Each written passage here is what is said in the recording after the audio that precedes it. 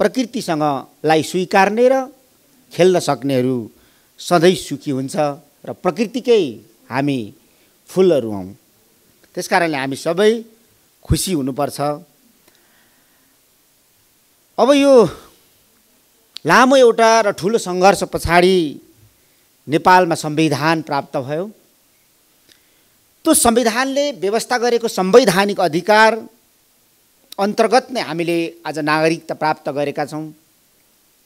म चौसठी सालमा सांसद हुँदाखेरि पनि त्यो बेला तपाईँहरूको पहिलो प्रतिनिधि त्यहाँ थिए। सांसदमा पनि प्रतिनिधि भएको यो देश।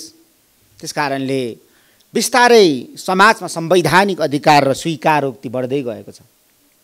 मलाई लाग्छ यो सृजनात्मक कामले पनि थप त्यसको दायरा बढाएर लानेछ।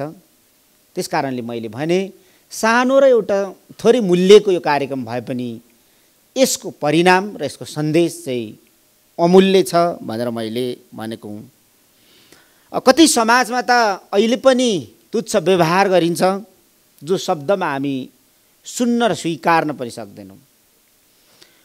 प्रकृतिको नियम हो यो कसैको चाहना होइन। त्यस कारण प्रकृतिलाई अस्वीकार गर्ने ती मान्छेहरू प्रकृति विरोधी हुन्। ती समाजहरू प्रकृति विरोधी समाज हुन् जो चाहिँ आफू सभ्य आफू बुद्धिजीवी र समाजको गण्यमान्ने भएर उनीहरू प्रस्तुत हुन्छन्। जब यो प्रकृतिको उपहारहरूलाई स्वीकार्न सक्दैनन् भने तिनीहरूलाई हामीले बौद्धिक भन्न सक्दैनौँ। ती यो शताब्दीको मानव समाज भन्न सक्दैनौँ। त्यस कारणले यसलाई हामीले राम्रोसँगले यी सबै समस्याहरूलाई समाधान गर्दै प्रकृतिकै हामी उपहार हौँ भनेर स्थापित गर्नुपर्ने नै छ। स्वाभाविक रूपमा यो समुदायको वंश हुँदैन। मन जलाउने मन जलाउँछ तर तन जलाउँदैन। तन जलाउनु सक्दैन होला। माया उत्साह विश्वास र भरोसा हामीले थप्दै लानुपर्छ।